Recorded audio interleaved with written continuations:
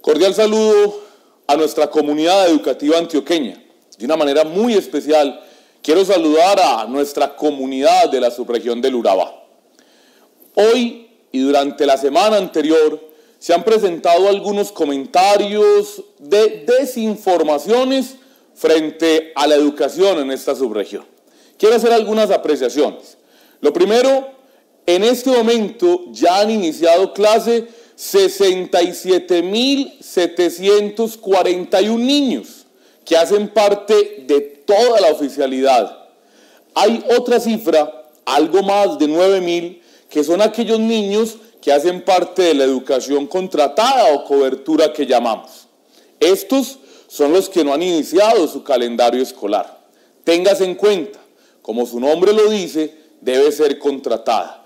Y con algunas dificultades contractuales que se han tenido con las diferentes corporaciones que atienden este servicio, nosotros como gobernación de Antioquia no solamente compartimos esas preocupaciones, sino que, y sobre todo, debemos garantizar el calendario escolar, las 40 semanas para estos niños y sus familias. Quiero dar un parte de tranquilidad los problemas se han solucionado sin ninguna dificultad distinta a aplazar una semanita más. Hoy era el inicio de la cobertura contratada. ¿Cuál es la idea?